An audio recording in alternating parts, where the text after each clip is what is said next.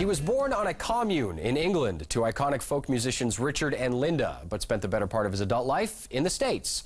His 2005 album Separate Ways was a beautiful thing, and last year he released an album of country cover songs. Now Teddy Thompson says he's finally made the album he's always wanted to make. It's called A Piece of What You Need, and it just might be.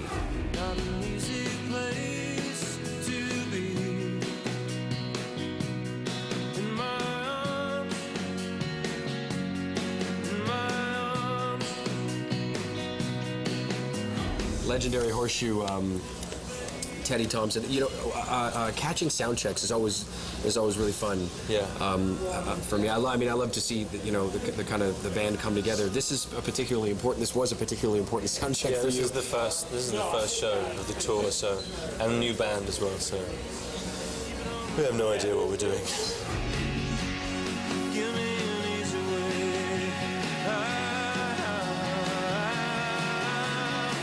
So, when you uh, uh, decided to do the, the tour, mm-hmm. and Toronto was the first stop, was there any is there any logic to that? Does it happen to be uh, based on geography or anything like that? Or yeah, actually, yeah, because we sort of start because we all live in New York, so right. we, the uh, it's good for us to start at the top and work our way down the uh, the East Coast. Um, but it's also um, I don't know, Toronto audiences tend to be kind.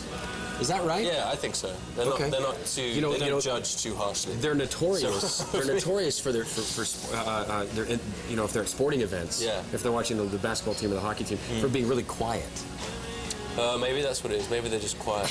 maybe I maybe I just confused quiet with Politeness. forgiving.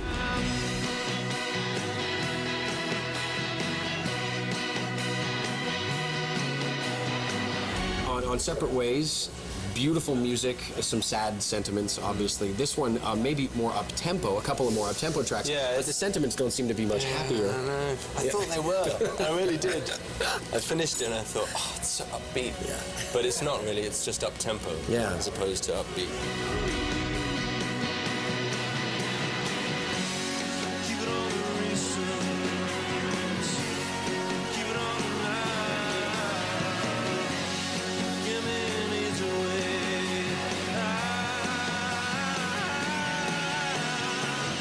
Are how are you? Are you is this is this you right now? Yeah, this album that's, absolutely. That's a reflection of me. Look, that is me. well, no, that is me on a much better day, not having not been rehearsing and I, driving all day. Is, well, the, the, hair is uh, stylishly disheveled. It is. It is. We spent hours doing the hair. a team of hairdressers. Yes. Trying to make me look like I'm not trying.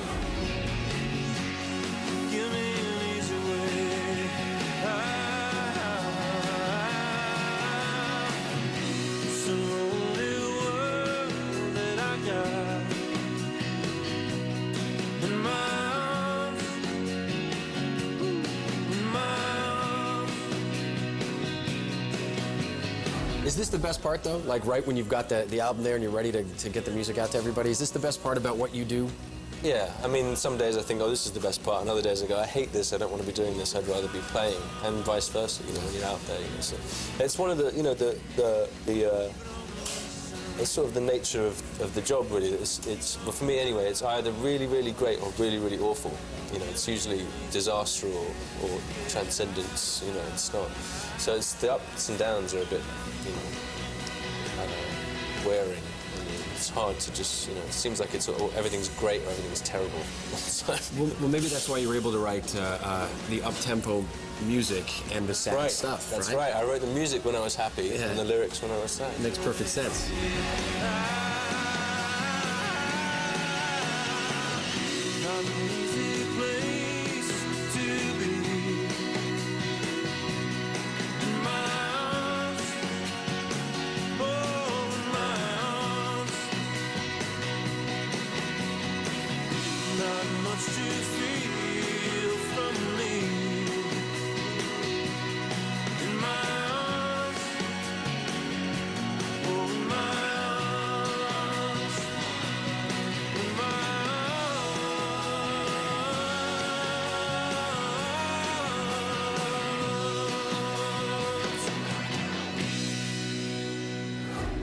A piece of what you need is available now.